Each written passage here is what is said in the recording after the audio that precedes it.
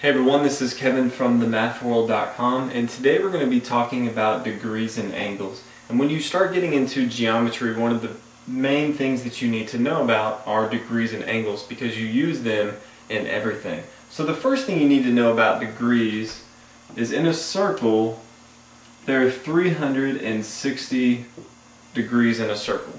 It's one full rotation. So a lot of times if you hear someone does a 720 trick, that's 362 times. So they did two full rotations. And a lot of times you'll hear about a right triangle. And a right triangle is 90 degrees. And it's because if a full circle is 360, a right triangle, there's four right triangles in a circle. And 360 divided by 4 is 90.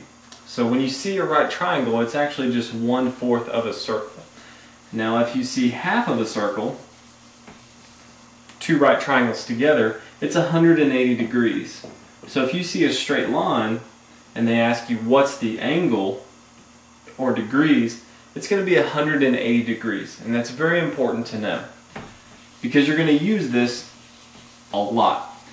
Another thing you also want to know is in a triangle, it doesn't matter what the triangle is. This is a right triangle. You can have different types of triangles. Let me draw a little bit better here. It does not matter your triangle. All the angles in the triangle will add up to 180 degrees. So in this right triangle, we know this is this is 90 degrees. So let's say we're given 60 degrees up here. We know that since all the angles add up to 180, that this one, we have 180 minus 90, which is our right angle, equals 90, minus 60, which is given up here, equals 30. So this angle right here, if we're asked for it, is 30 degrees. It's very important to know, even if it's not a right angle, a right triangle, all the angles in a triangle will add up to 180 degrees. So if you're given two of them, to find the other one, all you have to do is subtract those two degrees from 180 and that will give you your answer. That's very important to know. The other thing you need to know is the names of different angles. And they're given names. We already went over a right angle. So let me see if I can draw a little bit straighter. But a right angle is 90 degrees. If it's less than 90 degrees, I'll draw one here. And this could be 25, 30, doesn't matter. If it's less than 90 degrees, it's called an acute angle. So anytime if you're asked to find, if they give you lots of drawings and they say find the angle that's an acute angle, it's going to be the one that's smaller than 90. So from 0 to 90, it's going to be an acute angle. Now we talked about the right triangle. If it's greater than 90, as you can see here it actually comes out a little bit. If it's greater than 90, but it's not quite a straight line all the way, this is called an obtuse angle. So obtuse angle. So again, if they ask you to find the obtuse angle, it's going to be a little bit above this way, farther than the right angle.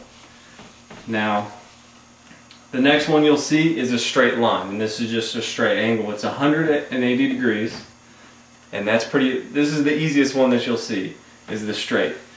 And then beyond that, you may see this, and they may ask you for this angle. As you can see, it goes past the straight line, which is a straight angle.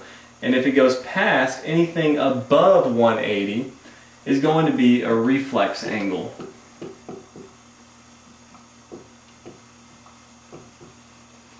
So anything that you're given, if you're given a right triangle, this is a right triangle, so this is 90 degrees, and the other degrees is going to be a reflex angle. There's always going to be a reflex angle. It doesn't matter what it is. It all depends on what they ask for. So if in this case, if they don't ask for this, the angle outside of this, if they just ask for the 90, you don't have to worry about it.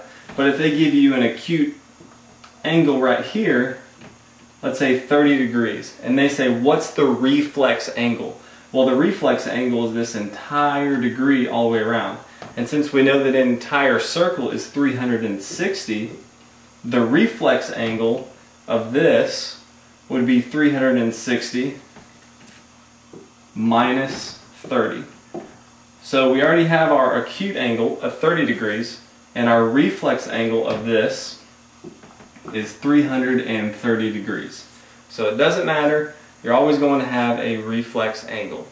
So, this is just a little bit about degrees and angles. If you haven't already, please subscribe to the channel and make sure you check out mathworld.com to try out degrees and angles on your own to make sure you completely understand. Thanks for watching and I'll see you guys in the next video.